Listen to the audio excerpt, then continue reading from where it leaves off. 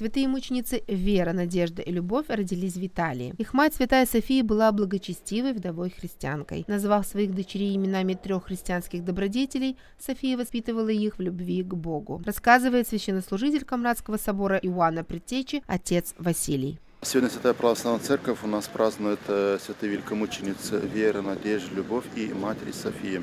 Для нас уникально эти святые тем, что э, эти э, святые мученицы пострадали за Христа во время гонений, когда их, их мама София, которая молилась Богу, чтобы и они ни в коем случае не предали свою истинную православную веру. И, и действительно история нам показывает, и священное предание говорит, что э, какие пытки жестокие для них не были, как их не старались обольстить, но они ни в коем случае не предали свою христианскую веру. Мать, которая была стороны, которая наблюдала за этим, она молилась Богу, чтобы э, святые мученицы не предали ни в коем случае свою веру. И действительно, и они получают терном венец неба, Господь их награждает этим венцом.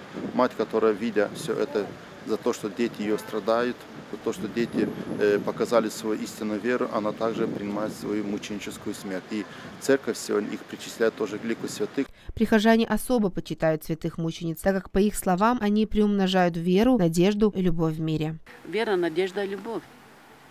Праздник большой.